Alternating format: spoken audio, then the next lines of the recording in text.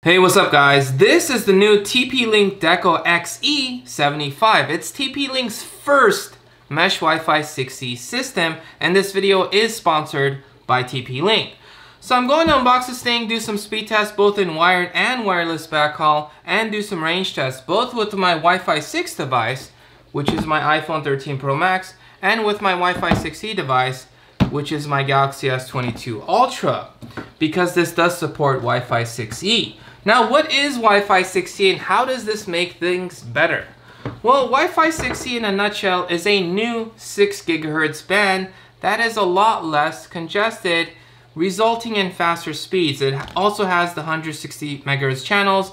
So, in a nutshell, it's supposed to be a faster frequency that you can hop on. Well, Wi-Fi 6E devices support it, but even if you don't have Wi-Fi 6E devices, there's also still a benefit because according to this, they're going to use it as a dedicated backhaul channel. And because Wi-Fi 6E supports faster speeds, you can, in theory, get faster Wi-Fi connections in a wireless backhaul setting.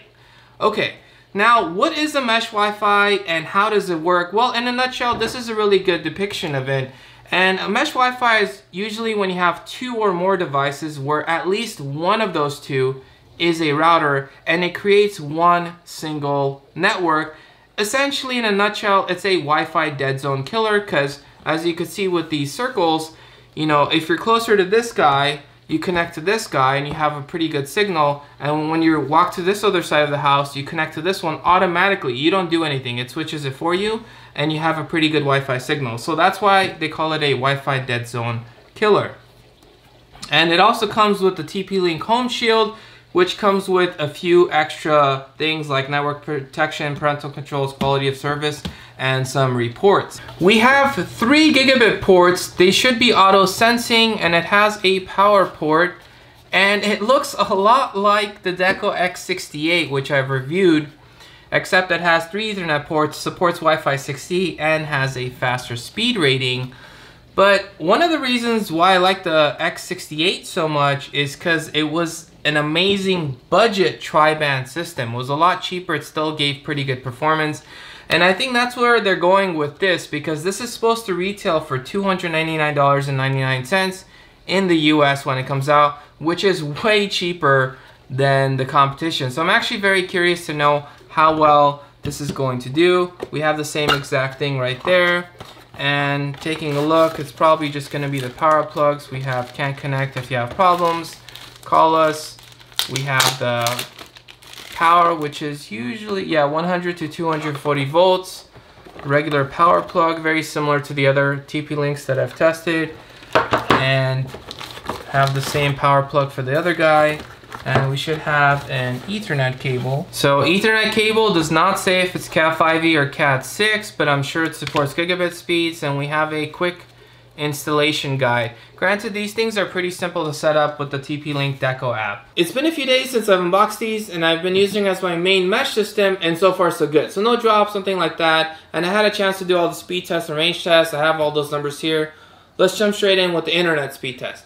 Now, no matter how fast your router is, you are going to be capped at your internet speeds when you're accessing the internet. So whatever you're paying for to your ISP, your internet service provider, that's what you're going to be capped at, assuming the router can even go that fast, which in my case, this can, because my internet speeds are 940 megabits per second download and 880 megabits per second upload. And notice I said megabits per second, not megabytes per second, because one byte is equal to 8 bits. So there's actually a huge difference between those two numbers. So when I do the speed test with my computer that's hooked up via ethernet to this thing, I get those full speeds no problem. However, with the Wi-Fi devices, that's typically a different story, and this is where our journey begins. Looking at the Wi-Fi 6 speeds, we get some very good download speeds, but the upload speeds do suffer, and the same is true for the Wi-Fi 6E devices. However, this is pretty typical with all the Wi-Fi devices that I test, with all the mesh Wi-Fi and routers that I test, is that those upload speeds do tend to suffer quite a bit. Which is one of the reasons why I do local speed tests. So in this case, I make my computer into a speed test server and I go from phone to router to computer, isolating the router, getting rid of my ISP and the public speed test server, which can fluctuate at times. So in this case, as you guys can see from the speeds, there's literally a huge drastic increase in speeds, especially with the Wi-Fi 6E device. However, one thing I did want to mention, Wi-Fi 6E can actually go faster than these speeds, but because they're limited by the gigabit ports on the Deco, it can't go faster than that, again, because of the limitations of this. Now, this shouldn't be an issue if you're pretty much don't have anything faster than a gigabit anyways. However, it's something worth noting. Now, jumping to the wired backhaul, you pretty much get the same exact speeds, and it would be true because, you know, there is an Ethernet from this guy to this guy. And when I am doing the speed test, I am doing it from the secondary one. Now for the wireless backhaul, this thing actually did very, very well considering its price and its speed test rating. Now something specific to this Deco is that inside the Deco app, you actually get an option to select 6 gigahertz as a dedicated backhaul channel, which is what I did for this test to get these amazing speeds. And if you guys are wondering, it was about 40 feet away from the secondary one to the main one. Now you do have, you know, you could turn that option off, but you do get slower speeds. However, something else worth noting, when that option is on and the 6 gigahertz is being used as a dedicated backhaul channel, you cannot connect Wi-Fi devices to it, just as a heads up. And also worth noting, you can only connect Wi-Fi 6E devices to that. No other device can connect to the 6 gigahertz band. Very, very good speeds nonetheless. Now, moving on to range tests. So range will vary based on location. So if you're in between floors, if you have a lot of thick walls, if you're in a building with a lot of other routers around, all of this stuff can hurt your range. I am in more of an open area than I used to be. Inside the place, 20 feet away, very, very good speeds, hardly a drop, honestly.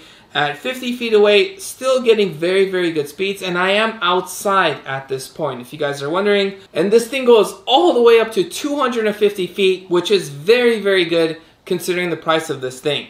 Now moving to the Deco app, this is what you would use to set this thing up and to configure it, which was honestly a breeze to set up. It literally tells you what you need to connect where, and it tells you to pick your Wi-Fi name and your password, your SSID, and you're done. Up and running very, very quickly. And you can use your same existing, I should say, or older router's info, and your devices should automatically connect to it. However, worth noting that not only is the password case sensitive, but the Wi-Fi named SSID itself is also case sensitive. So it does need to be verbatim. Now, as far as configuring, you get all your main options very organized all in one place and if you want to tinker with it some more, there is an advanced section and it does also come with parental controls.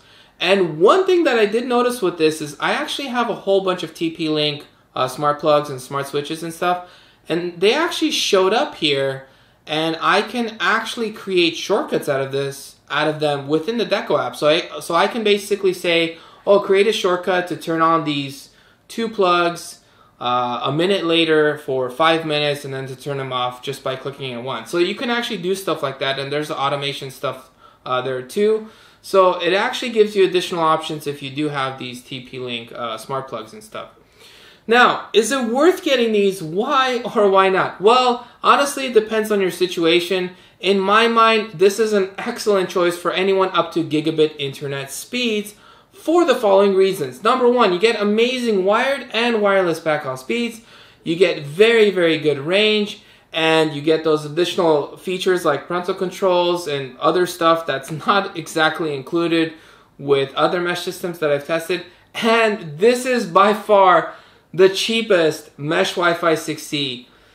And by a huge margin, as of now, the second cheapest mesh Wi-Fi 6E that comes in a two-pack retails for $4.99. So the fact is that this retails for $2.99, which is honestly it's absurd. So it is an amazing set. Now this video is sponsored by TP-Link, but honestly this thing is amazing. Just like I thought that the Deco X60 was amazing, I think this is now the new budget king.